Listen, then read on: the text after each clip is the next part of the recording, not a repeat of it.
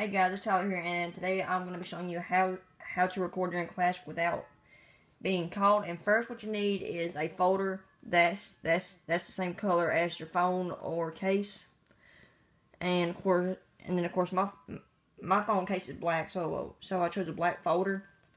And what I did is that I hang on, my phone's up, my, my camera won't focus. There we go.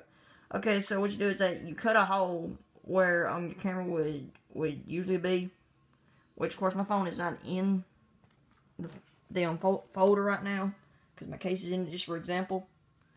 But and then right here you would you would color this black and put staples in here so the phone wouldn't slip and slide back and forth when like you just put it to the side or you know just something like that.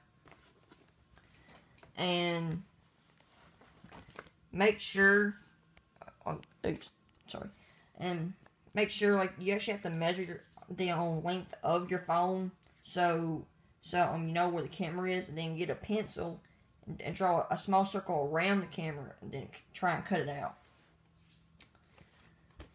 And with that's basically it. Thanks, thanks, thanks for watching. Please like and subscribe, and peace out.